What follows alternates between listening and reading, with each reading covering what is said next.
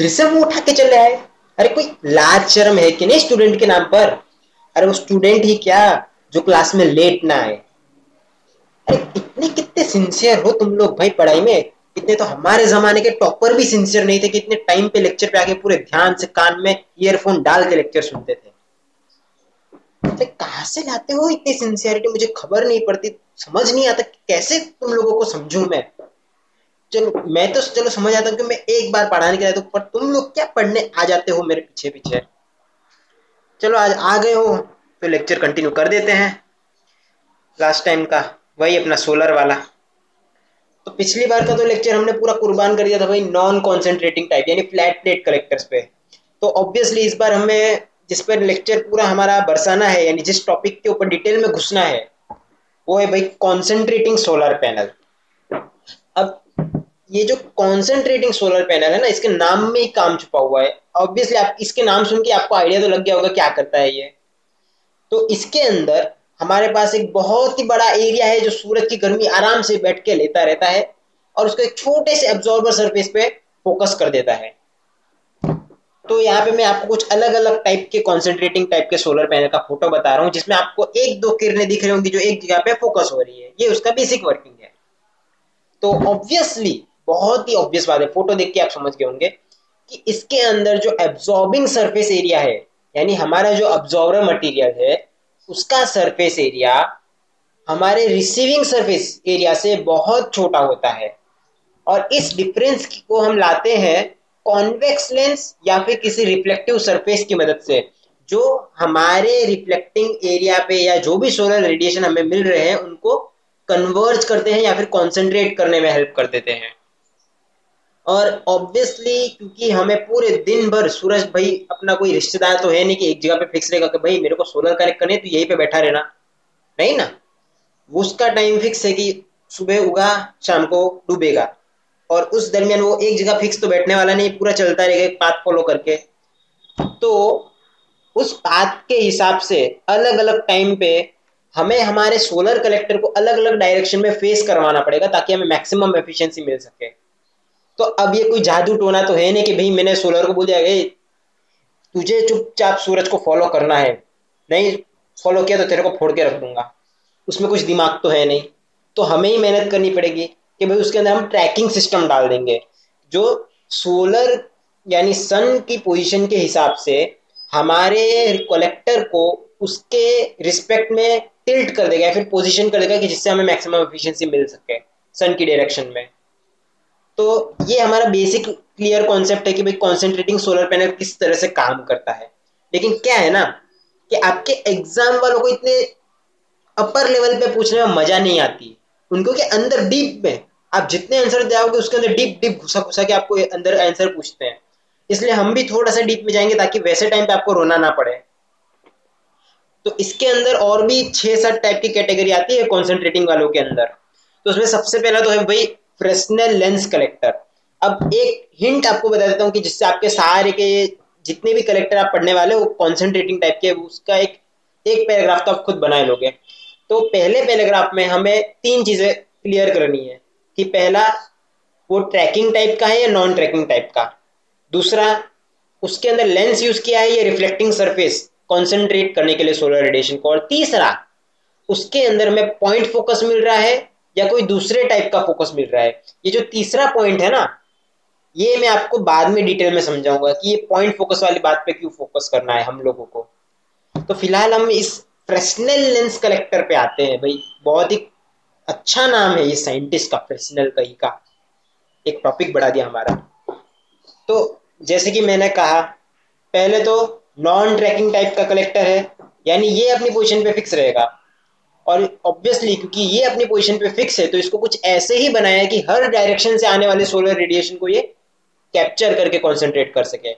दूसरा, कि कॉन्सेंट्रेट करने के लिए सोलर एनर्जी को हम यहाँ पे नाम के जैसे ही फ्रेशनल टाइप का लेंस यूज़ करते हैं। ये फ्रेशनल लेंस क्या है वो मैं आपको पिक्चर से समझा दूँगा, क्योंकि आपने सिर्फ़ कॉन्वेक्स और कॉन्केव लेंस के बारे में ही पढ़ा होगा टेंथ में। उसके आगे तो आप खुद पढ़ेंगे नहीं। और तीसरा कि ये भाई पॉइंट फोकस करता है। यानी सारे जितने भी रेडिएशन है, उनको एक पॉइंट पे फोकस कर देगा। आपने क्रिश पिक्चर में वो जो पेन आता है लाइट पेन के एक पॉइंट पे फोकस कर देता है, सारी लाइट को उस तरह से। तो ये है हमारा फ्रेशनल लेंस भाई। तो नॉर्मल लेंस जो होता है, वो हमारा कुछ आँख के शेप का होता है, इस टाइप का, या फिर इसका अपोजिट ऐसा। ये हमारे कॉन्वेक्स कॉन्केव शेप है। लेकिन ये जो फ्रेशनल लेंस है ना, ये एक बाजू से फ्लैट होता है और उसके ऊपर ये कुछ कांटे जैसे शेप आप देख सकते हैं इस टाइप के। तो ये क्यों है? तो इसका ये जो स्पेशल कंस्ट्रक्शन ये इसलिए दिया गया है कि इसके ऊपर जितने भी पैरेलल रेज गिरेगी सूरज दादा की, उन सबको कन्वर्ज कर देगा। बाकी क्या होगा कि आपको पता होगा लेंस लॉ के हिसाब से कि कोई पर्टिकुलर पॉइंट में से पास होने पर ही आपकी रेज कॉन्सेंट्रेट हो पाएगी। लेकिन हमें उसको एक पॉइंट पे जल्दी कॉन्सेंट्रेट करना है और सबको कॉन्सेंट्रेट करना है। इसलिए हम इसको इस टाइप की ज्योमेट्री देते हैं कि ये जो ऊपर नीचे वाली सरफेस है, ये सबको तुरंत एक पॉइंट पर हर एक को छोड़े बिना कॉन्सेंट्रेट कर देती है। और इसका दूसरा फ़ायदा ये कि जो हमारी फोकल लेंथ है, यानी लेंस के बाद का ऐसा डिस्टेंस कि जहाँ पे सारे रेडिएशन कॉन्सेंट्रेट होंगे, वो डिस्टेंस कम कर देती है। यानी हमारा जो साइज़ है कलेक्टर का, वो छोटा हो जाता है। और हाँ फ्रेशनल लेंस की एक खासियत है कि इसकी ट्रांसमिसिबिलिटी बहुत ही अच्छी है। यानी इसके अंदर अगर मैंने मान लीजिए 100 परसेंट इंटेंसिटी वाला कुछ रेडिएशन डाला है तो मुझे दूसरे साइड में एटलीस्ट 98 या 99 परसेंट तो मिल ही जाएगा। इतनी इतनी अच्छे से ये ट्रांसपेरेंट कर देता है, यानी रेडिएशन को पास ऑन होने देता है अपने अंदर से। और जो डिस्पर्शन है, वो एकदम मिनिमम यानी ना के बराबर है। क्योंकि कई बार लेंस में क्या होता है कि वो उसको डिस्पर्स कर देते हैं या फिर एब्जॉर्ब कर लेते वैसा इसके अंदर कुछ नहीं है। पूरी तरह से उसको कॉन्सेंट्रेट करने में जुटा हुआ है भाई हमारा खिलाड़ी। और जहाँ पर ये हमारा रेडिएशन फोकस होता है। वहाँ पर हमें एब्जॉर्बर से लपेटी हुई ट्यूब को पास करना यहाँ पे ये जो फिगर आप देख रहे हैं, इसके अंदर सोलर सेल बताया है, ये पहला का डिज़ाइन है कि जब हमारे पास सोलर थर्मल पावर प्लांट्स का कॉन्सेप्ट नहीं था, लेकिन अब हमारे पास थर्मल पावर प्लांट्स का कॉन्सेप्ट आ गया है सोलर वाले तो हमारा आइडिया यही है कि हमें पानी को स्टीम में कन्वर्ट कर सकते हो नेचुरली एनर्जी से तो वो उस पर जाना चाहिए।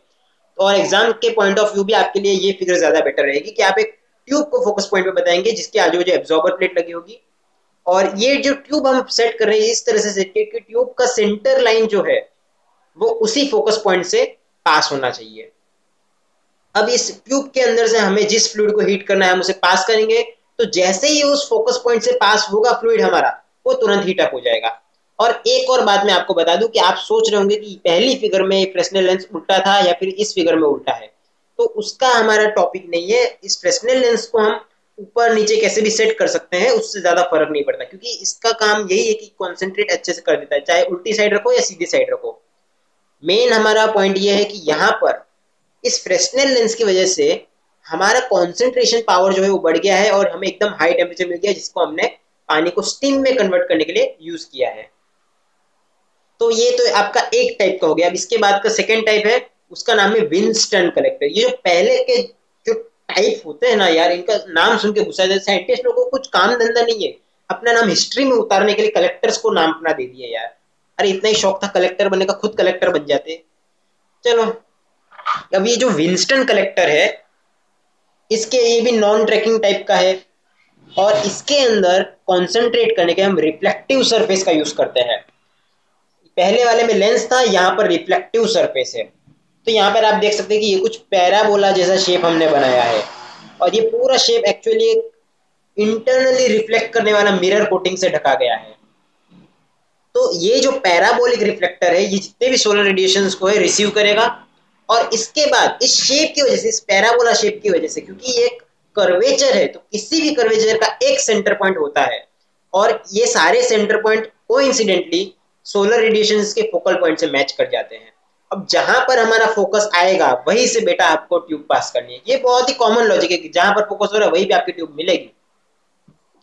और ऑब्वियसली ट्यूब के आजू बाजू भाई भर भर के अब्जॉर्बर प्लेट अब्जॉर्बर मटेरियल लपेट डालना है, ताकि सारी इंटेंसिटी जो है सोलर रेडिएशन कॉन्सेंट्रेट होने वाली, वो उसको मिल जाए। अब यहाँ पर जो ट्यूब है, पहले ग्लास ट्यूब है, उसके अंदर फिर आपके एब्जॉर्बर प्लेट से ढकी हुई ट्यूब है। और इन दोनों एब्जॉर्बर और ग्लास ट्यूब के बीच में जरा सा गैप है जिसके अंदर आपने वैक्यूम या फिर इवैक्यूएटेड स्पेस मेंटेन करके रखा है, ताकि आपके हीट लॉस को आप रिड्यूस कर सको। इसके अंदर हम पानी को 100 से लेकर 150 डिग्री सेल्सियस तक की स्टीम में कन्वर्ट कर सकते हैं इजीली और इसके अलावा हमारे जो साइंटिस्ट है ना, बहुत खुजली चलती रहती है उनको, शांति से बैठ नहीं सकते। तो उन्होंने क्या किया, ये जो अब्जॉर्बर मटेरियल था, उसकी जगह एक स्पेशल हाई कॉस्ट वाला साइंटिफिक मटेरियल डिज़ाइन किया, जिसके अब्जॉर्बिंग कैपेसिटी नॉर्मल से भी बहुत कई गुना ज़्यादा हो। और ये जो भाई हमारा विंस्टन कलेक्टर है, इसको ट्रैकिंग सिस्टम के साथ इंस्टॉल कर दिया। तो भाई यहाँ पर मेहनत फेल नहीं हुई, मेहनत रंग लाई उनकी लेकिन हमारे लिए काम बढ़ गया पढ़ने का। ये इतना जुगाड़ करने से जो 100 से 150 डिग्री सेल्सियस तक का तापमान मिल रहा था, अब हमें वो 300 डिग्री सेल्सियस तक की रेंज में मिलने लग गया। क्योंकि tracking system obviously efficiency increase करेगा और प्लस जो हमने एब्सॉर्बिंग मटेरियल चेंज कर दिया, उसकी वजह से भी जो हीट एब्जॉर्ब हो रही थी वो भी बढ़ गई। इसलिए ऑब्वियस ऑब्वियसली जो टेम्परेचर आपको मिल रहा था वो बढ़ गया। और क्योंकि इतना हाई टेम्परेचर हमें इनमें मिल सकता है, इसीलिए हम इनको पावर जनरेशन में यूज़ कर सकते हैं। लेकिन पावर जनरेशन में ऐसे एक ही ट्यूब से काम नहीं होगा। वहाँ पर हमें ऐसे कई सारे ट्यूब्स को एक सीरीज़ में कनेक्ट करना पड़ेगा। और इस टाइप का जो सिस्टम होता है कि जिसके अंदर हम कई सारे सोलर कलेक्टर्स को इस तरह ज्वाइन कर देते हैं ताकि हमें हाई मास फ्लो रेट पे स्टीम मिल सके, एकदम हाई क्वांटिटी में स्टीम मिल सके। इसे हम कहते हैं सोलर बॉयलर सेटअप और इनका ये जो शेप है ना, ये पैराबोलिक कलेक्टर्स की तरह है। इसलिए हम इन्हें कंपाउंड पैराबोलिक कलेक्टर्स कहते हैं, क्योंकि प्योर पैराबोला नहीं, जरा सा कर्वेचर नीचे बेंड हो रहा है उल्टे साइड में। इसलिए ये कंपाउंड पैराबोलिक कलेक्टर्स कहते हैं। तो अब हमारा नेक्स्ट जो है, वो है पैराबोलिक डिस्क कलेक्टर इन दोनों के नाम में कंफ्यूज बिल्कुल नहीं होना है। पहले जो था, वो कंपाउंड पैराबोलिक था। यहाँ पे हमें डिस्क है। पहले पूरा एक शेल था पैराबोला का। लेकिन यहाँ पर डिस्क है। ये बात का खास ध्यान रखना है। तो ऑब्वियसली यहाँ पे भी हम पैराबोला है, लेकिन पैराबोलिक शेप की एक बड़ी डिस्क को एज ए रिफ्लेक्टिव सर्फेस यहाँ पे यूज़ कर रहे हैं। तो जितने भी भाई सोलर रेडिएशन आएँगे, उनको ये डिस्क जो है उस पैर, उस डिस्क के पैराबोला शेप का जो सेंटर होगा, उस पॉइंट पर फोकस कर देगा। और यहाँ पे आप शेप देख सकते हैं कि भाई, इस टाइप का हमारा पैराबोला होता है थ्री डायमेंशनल फिगर में। तो उसके ऊपर तार से आप जोड़ सकते हैं, यहाँ पे अपना रिसीवर तो सारे रेडिएशन इस तरह से टकरा के उससे जाएँगे ऊपर। या फिर, दूसरा स्टेप के उसके बीच से आप एक छोटा सा कनेक्टर रख सकते हैं यहाँ पर, बीच से। और यहाँ पर आपका मेजर हीटिंग सोर्स मिलेगा और इसके अंदर यहाँ मिलेगा। तो अलग अलग टाइप के कंस्ट्रक्शन है जो साइंटिस्ट अपने अपने डिज़ाइन बनाते रहते हैं पेटेंट के खर्चे से बचने के लिए। लेकिन एक बार पेटेंट हो गया तो फिर वो भी कुछ नहीं उखाड़ सकते। और क्योंकि इसके अंदर क्लियरली आपको दिख रहा है कि जो एब्जॉर्बर सरफेस एरिया बहुत बहुत छोटा है इसके अंदर। ये इतना पिद्दी जितना, इतना सा, ये इतना सा, पिद्दी, एकदम पिद्दी। तो इसकी वजह से जो हमारा हीट लॉस जो होता है, वो बहुत कम हो जाता है इस छोटे से एरिया की वजह से, क्योंकि एरिया आपका जितना बड़ा होगा हीट लॉस उतना ज़्यादा होगा। अब ये जो सारा रेडिएशन है, क्योंकि हम इतने बड़े सरफेस एरिया के कंपैरिजन में इतने छोटे पॉइंट पे कॉन्सेंट्रेट कर रहे हैं तो यहाँ पर हमें बहुत ज़्यादा हाई टेम्परेचर ऐसे ही मिल जाता है। इसीलिए यहाँ पे हम 200 डिग्री सेल्सियस तक की स्टीम एकदम आसानी से जनरेट कर सकते हैं। और इसलिए ये सेटअप भी हम सोलर बॉयलर्स चलाने के लिए यूज़ कर सकते हैं। लेकिन एक बात मैं आपको समझा देता हूँ। कि आप सोच रहे होंगे, इतने छोटे कंटेनर में पानी कैसे भरते हैं और कितना पानी गर्म होता होगा? तो यहाँ पे पानी भरते नहीं है। पानी कॉन्स्टेंटली इसके थ्रू फ्लो होता रहता है। तो यहाँ पर ये जो पाइप आप देख रहे हैं ना, ये वाली, इसके अंदर से पानी एक आता है और यहाँ से पास होके चला जाता है। और वो जो छोटा सा टाइम है ना, कि जब पानी वहाँ से जस्ट पास होता है, उस छोटे से के टाइम के अंदर उसको 200 डिग्री सेल्सियस जितना तापमान मिल जाता है। तो आप समझ सकते होंगे कितना ज़्यादा गर्मी यहाँ पे कॉन्सेंट्रेट हो रही है। चलिए भाई, अब आ रहा है अपना थोड़ा सा हटके वाला कैरेक्टर यानी थोड़ा सा अलग, वो है सिलिंड्रिकल पैराबोलिक कलेक्टर तो इसके अंदर भी, भाई पहले तो मिरर स्ट्रिप से हम कंसंट्रेशन करेंगे, और यहाँ पर सिर्फ़ यही एक नमूना है, जिसके अंदर आपको लाइन फोकस मिलता है। पहले जितने भी आप पढ़ चुके वो सब पॉइंट फोकस वाले, कि एक पॉइंट पे कॉन्सेंट्रेट कर, लेकिन यहाँ पर आपको एक पूरी कंटिन्यूस लाइन के ऊपर फोकस मिलेगा।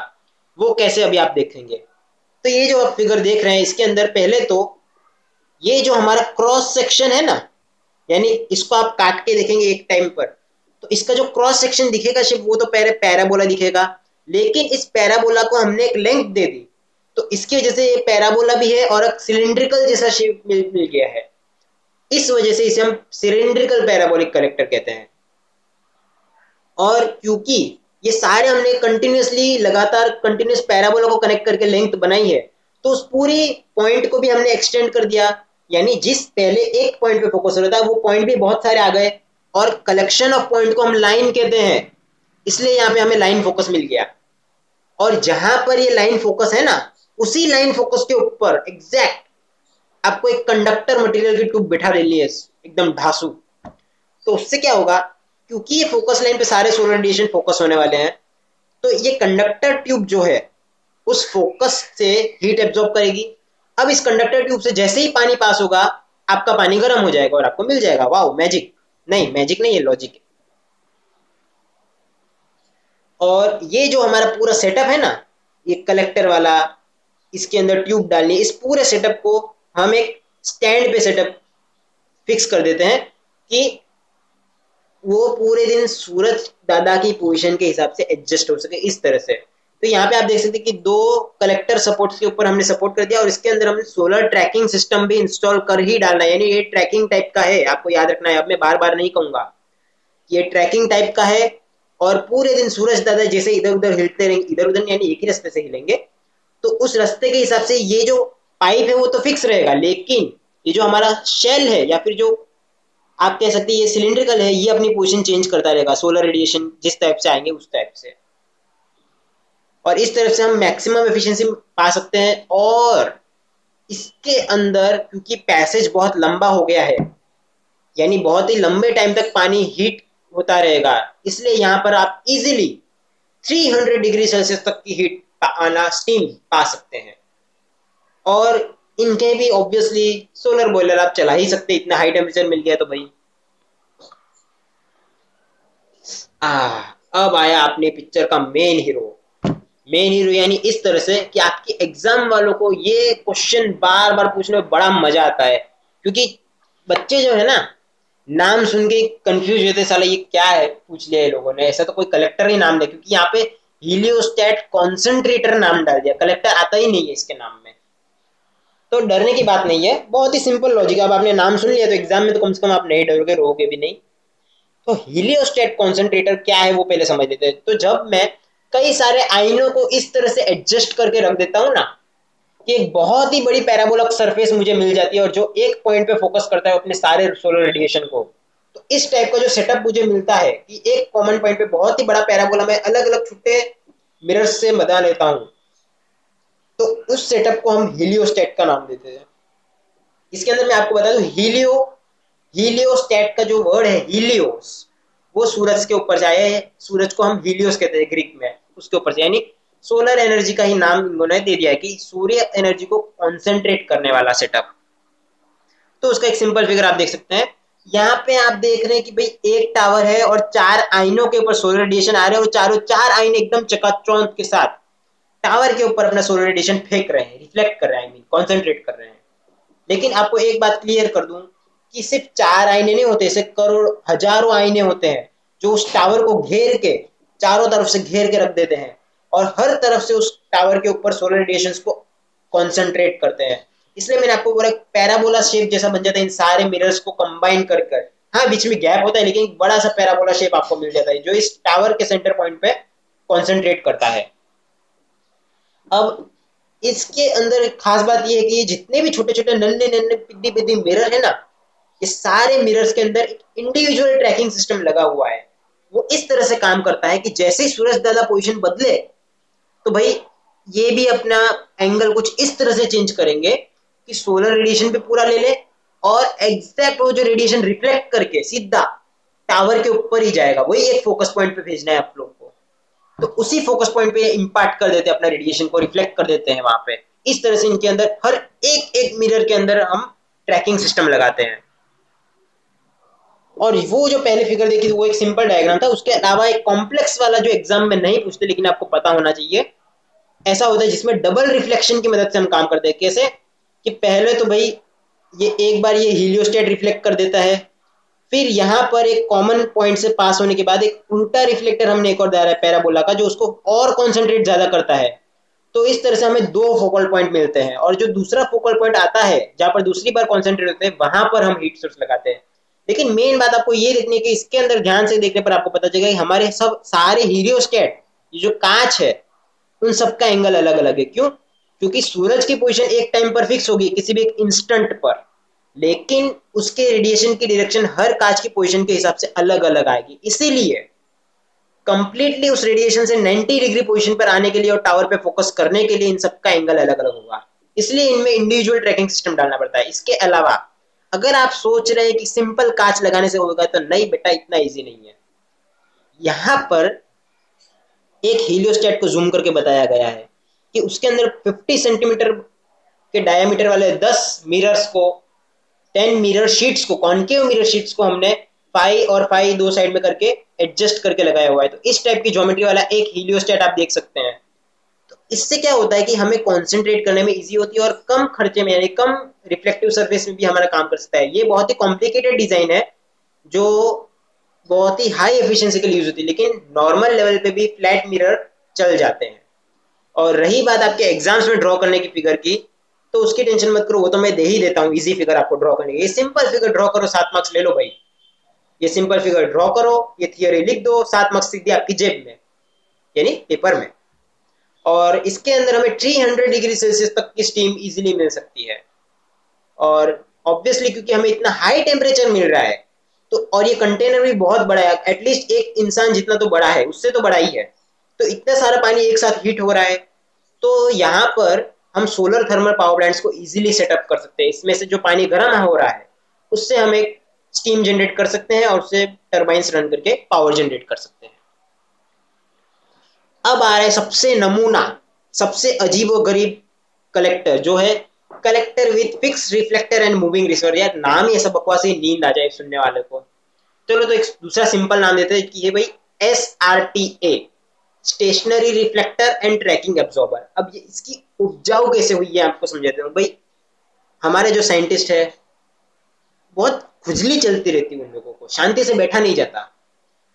कुछ नया करना है लेजेंड बनना है उनको। तो क्या किया उन्होंने? भाई, सबके अंदर हीलियोस्टेट जो आया ना लेटेस्ट उसके अंदर तो भाई हमने रिफ्लेक्टर को चला दिया इधर उधर ताकि एक पॉइंट फोकस आ जाए। लेकिन अब हमें कुछ नया करना है, कुछ तूफानी करना है।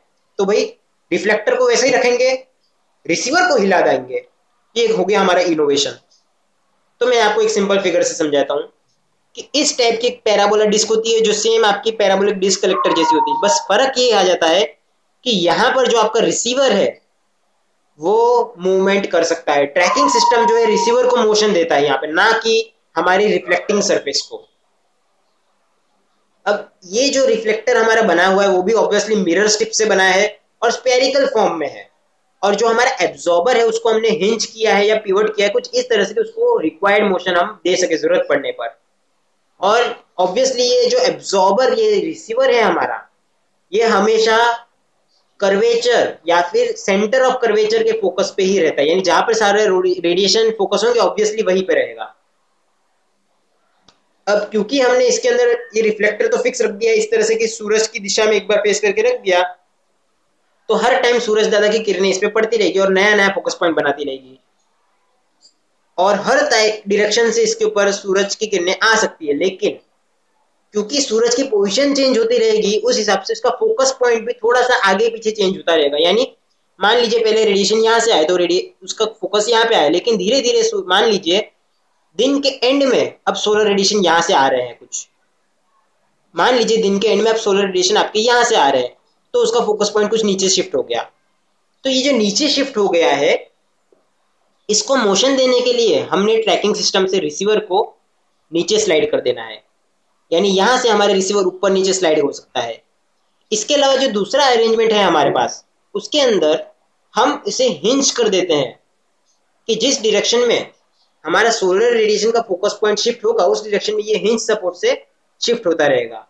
तो हमें मैक्सिमम एफिशिएंसी ऑब्वियसली नए फोकस पॉइंट पे, क्योंकि हर बार रिसीवर आता रहेगा तो हर टाइम कॉन्स्टेंटली वो जितने टाइम तक सूरज की रेडिएशन मिलती रहेगी, उतने टाइम वो कॉन्सेंट्रेटेड रेडिएशन को ऑब्ज़र्व करेगा, इसलिए उसकी एफिशिएंसी ज़्यादा ही आएगी।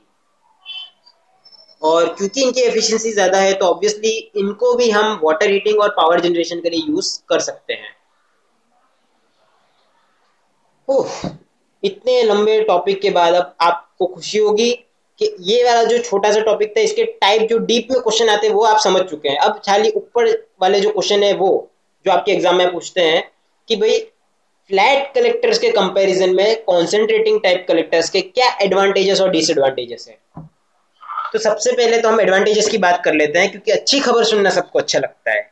तो पहले भाई, चलो इसकी बढ़ाई कर लेते हैं थोड़ी फ्लैट प्लेट के कंपैरिजन में। तो सबसे पहली बात अगर मैं फ्लैट प्लेट की बात करूँ और इसकी बात करूँ और दोनों का सरफेस एरिया कंपेयर करूँ तो जितना सरफेस एरिया फ्लैट प्लेट पे अगर उतना ही सरफेस एरिया इसका भी होगा, फिर भी कॉन्सेंट्रेटिंग टाइप के अंदर मुझे टेम्परेचर जो मिलेगा वो ज़्यादा होगा। क्योंकि वो आप जानते हैं कि अब्जॉर्बर से ज़्यादा रिफ्लेक्टिंग सरफेस होगा, इसलिए उसे कॉन्सेंट्रेटेड रेडिएशन मिलेगा, इसलिए उसका टेम्परेचर ज़्यादा ही मिलने वाला है। सेकेंड कि यहाँ पर अगर मुझे टेम्परेचर सेम करना है तो जो ट्यूब की लंबाई है, जिसमें से मुझे वाटर को पास करना है, वो जो पैसेज है, वो मैं रिड्यूस कर सकता हूँ। और ऑब्वियसली क्योंकि सेम टेम्परेचर की बात कर रहे हैं तो इसकी एफिशिएंसी ज़्यादा है, वही इसका मेन रीज़न है। और क्योंकि यहाँ पर हमें बहुत ही छोटे एरिया से पास करना है, यहाँ पर हीट ट्रांसफ़र रेट बहुत ही ज़्यादा मिलेगी आपको। इसलिए आपका जो फ्लूड है, वो बहुत ही रैपिडली हीट होगा। मैंने आपको पैराबोलिक डिस्क कलेक्टर में भी कहा था कि जस्ट पानी उस पॉइंट से पास होता है, उतनी देर में वो हीट अप हो जाता है 300 या 200 डिग्री सेल्सियस के आसपास। तो यहाँ पर हीट ट्रांसफ़र रेट हमारा बहुत ही ज़्यादा है फ्लैट प्लेट कलेक्टर्स के कंपेरिजन में। और ऑब्वियसली क्योंकि फ्लैट प्लेट के अंदर हमें इतना हाई टेम्परेचर नहीं मिलता, हम उन्हें पावर जनरेशन के लिए यूज़ नहीं कर सकते, लेकिन जो कॉन्सेंट्रेटिंग टाइप है, उनमें हमें इजिली 100 से लेकर 300 400 डिग्री सेल्सियस तक की टेम्परेचर रेंज मिल सकती है। और ये टेम्परेचर रेंज स्टीम बनाने के लिए आइडियल मानी जाती है और इसे हम सोलर थर्मल पावर प्लांट से पावर जनरेशन पर्पज के लिए यूज़ कर सकते हैं। और क्योंकि इसके अंदर कॉन्स्टेंटली एक हाई टेम्परेचर मेंटेन रहता है तो यहाँ पे फ्रीजिंग की प्रॉब्लम नहीं आती। इसलिए यहाँ पे हमें एंटी फ्रीज प्रोटेक्शन नहीं देना पड़ता। जो फ्लैट प्लेट कलेक्टर में प्रॉब्लम थी वहाँ पे ट्यूब्स फट जाती थी फ्रीजिंग होने की वजह से। यहाँ पे फ्रीजिंग नहीं होती और इसलिए एंटी फ्रीज का जो प्रोटेक्शन का खर्चा था, वो यहाँ पे नहीं लगता। और एक टर्म आती है कि एनर्जी एक्यूमुलेशन कॉस्ट यानी आपके एनर्जी को कलेक्ट करने में आपने जितना टाइम यूटिलाइज किया है, उस टाइम में आपका जो कॉस्ट एक्यूमुलेट हुआ है, वो बताता है। क्योंकि इंडस्ट्री वालों के लिए टाइम इज़ मनी तो जितना टाइम कम टाइम में आप एनर्जी को एक्यूमुलेट कर सकते हो, उतना आपका एक्यूमुलेशन कॉस्ट कम आएगा। और क्योंकि यहाँ पे हीट ट्रांसफ़र रेट बहुत ही फास्ट है तो ऑब्वियसली यहाँ पे एक्यूमुलेशन कॉस्ट कम है। ये उसका सबसे बेस्ट एडवांटेज माना जाता है। अब थोड़ी बुरी खबर सुन लेते हैं, जो फिर भी दिखनी पड़ेगी यार डिसएडवांटेज तो यहाँ पर सिर्फ़ और सिर्फ़ बीम रेडिएशंस को एनर्जी कन्वर्जन के लिए यूज़ कर रहे हैं। डिफ्यूज रेडिएशन यहाँ पे किसी काम के नहीं है। इसके बाद, क्योंकि हमारा रिफ्लेक्टर ही है भाई करता धरता जो कॉन्सेंट्रेट करता है रेडिएशन को तो अगर रिफ्लेक्टर के ऊपर किसी भी टाइप का डस्ट या मॉइस्चर कलेक्ट हो गया तो एफिशिएंसी गई तेल लेने। इसलिए हमें बहुत ही ध्यान रखना पड़ता है कि भाई रिफ्लेक्टर को कुछ हो ना जाए। इसलिए उसको हर बार बार फ्रिक्वेंटली उसको साफ़ सफ़ाई करनी पड़ती है, इसकी वजह से मेंटेनेंस कॉस्ट आपका बढ़ जाता है। अब एक दूसरा टर्म है जो आपको पता होना चाहिए, वो है एनर्जी फ्लक्स कि किसी भी टाइम के इंस्टेंट पे आप कितनी एनर्जी को एक जगह पे कॉन्सेंट्रेट कर रहे हो। तो क्योंकि यहाँ पे बहुत ही बड़े एरिया से छोटे एरिया पे एनर्जी आ रही है तो कॉन्स्टेंटली जैसे भी अगर थोड़ा सा भी वेरिएशन उस बड़े एरिया के अंदर हीट पड़ती हुई हीट पे आया छोटे एरिया में हमें बहुत ही ज़्यादा वेरिएशन देखने मिलता है। तो यहाँ पे एनर्जी फ्लक्स जो है बहुत ही हाई वैल्यू से चेंज होता रहता है। और फ्लैट प्लेट कलेक्टर के कंपैरिजन में इनका जो डिज़ाइन है ना, वो तो आप समझ ही गए कब से देख देख के फिगर कि बहुत कॉम्प्लिकेटेड है भाई। इसलिए उसका खर्चा जो है मैन्युफैक्चरिंग का वो भी ज़्यादा है। और सबसे मेन मुद्दे की बात, अगर एफिशिएंसी चाहिए तो कितना भी खर्चा करना पड़े भाई ट्रैकिंग सिस्टम लगाना पड़ेगा और वो खर्चा मांगेगा ही। अब अगला क्वेश्चन जो एग्ज़ाम वालों को पूछने में बड़ी मज़ा आती है। ऐसे तो अभी तक जो हमने दो लेक्चर में बात की कि एडवांटेज डिसएडवांटेज उससे भी आप आंसर बना सकते हैं, लेकिन मुझे पता है, भाई, ऐसे नमूने आते ही है लेक्चर देखने कि जिनको इतना सिंपल टेबल बनाना भी नहीं आता कंपैरिजन तो चलो मैं ही आपको बता देता हूँ कैसे बनाते टेबल तो एक बाजू हम रखते फ्लैट प्लेट कलेक्टर्स यानी नॉन कॉन्सेंट्रेटिंग टाइप कलेक्टर और दूसरे बाजू कॉन्सेंट्रेटिंग टाइप कलेक्टर्स तो सबसे पहले फ्लैट प्लेट कलेक्टर्स जो है, वो बिना किसी वेरिएशन की, यानी जैसे रेडिएशन आए, उसको ऑब्जॉर्व करा देते हैं। लेकिन, जो कॉन्सेंट्रेटिंग टाइप वाले हैं, वो फोकस करने के बाद एब्जॉर्ब कराते हैं लेंस या किसी भी रिफ्लेक्टर की मदद से। ये उनका पहला डिफरेंस है, जो बहुत ही ऑब्वियस था। अब दूसरा, कि भाई फ्लैट प्लेट के अंदर हमें हाई टेम्परेचर तो मिलता नहीं है, इसलिए वो लो ग्रेड वाले सोलर थर्मल कलेक्टर हैं। और इनके अंदर बहुत ही हाई टेम्परेचर मिलता है तो ये मीडियम या हाई ग्रेड वाले सोलर थर्मल कलेक्टर है। बाद में फ्लैट प्लेट के अंदर एब्जॉर्बर का सरफेस एरिया और रिसीविंग सरफेस एरिया यानी हमारा जो ग्लास कवर था वो, दोनों का ही सरफेस एरिया सेम था इक्वल था। लेकिन यहाँ पर एब्जॉर्बर का सरफेस एरिया रिसीविंग सरफेस या फिर रिफ्लेक्टिंग सरफेस से बहुत कम होता है। बाद में फ्लैट प्लेट कलेक्टर जो है बीम और डिफ्यूज दोनों रेडिएशन को यूज़ करके हीटिंग करते हैं। लेकिन कॉन्सेंट्रिक सिर्फ़ और सिर्फ़ बीम रेडिएशन से शपथ ली हुई है कि भाई हम सिर्फ़ बीम रेडिएशन को ही कॉन्सेंट्रेट करेंगे। हाई अब ऑब्वियस बहुत ही सिंपल बात है यार कि फ्लैट प्लेट वाला सिंपल था डिज़ाइन में कंस्ट्रक्शन सिंपल था तो उसका खर्चा कम आएगा बनाने का। और कॉन्सेंट्रेटिंग वाला भाई हाई लेवल डिज़ाइन वाला कॉम्प्लिकेटेड डिज़ाइन वाला तो खर्चा भी ज़्यादा ही लेगा। और क्योंकि फ्लैट प्लेट कलेक्टर में जो टेम्परेचर मिल रहा है बहुत ही लो है तो उसका लिमिटेड एप्लीकेशन था भाई कि पानी हीट कर सकते हो स्पेस हीटिंग कर सकते हो, या फिर खेती पदार्थ को सुखाने के काम आ सकता है वुड सीजनिंग करने के काम। लेकिन पावर जनरेशन के काम भाई अपना कॉन्सेंट्रेटिंग कलेक्टर ही आएगा मेन हीरो अपना हाई टेम्परेचर वाला। और इसलिए इलेक्ट्रिकल जनरेशन के लिए बहुत काम आता है वो। और हम सब जानते हैं कि भाई फ्लैट प्लेट कलेक्टर की एफिशिएंसी कम होती है और कॉन्सेंट्रेटिंग की ज़्यादा होती है, क्योंकि यहाँ पे कॉन्सेंट्रेशन कर रहे हैं सिंपल चलो भाई, अब मेरे ख्याल से तो आप आज के लिए बहुत पक चुके हैं। हाँ आपकी पकने की कैपेसिटी होगी, पर भाई मेरी पकाने की कैपेसिटी नहीं है, इसलिए मैं यही लेक्चर रोक रहा हूँ। अगली बार फिर से पकना हो, दिमाग में ज्ञान घुसाना हो तो आ जाना अपने अड्डे ओरिजिन ईशाला पे। Thank you